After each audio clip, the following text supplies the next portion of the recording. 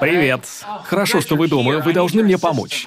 Так чем тебе помочь? Эми на меня злится, а я не понимаю за что. Ну а ты говорил с ней, когда она обиделась? Да. Ну вот в этом все и дело.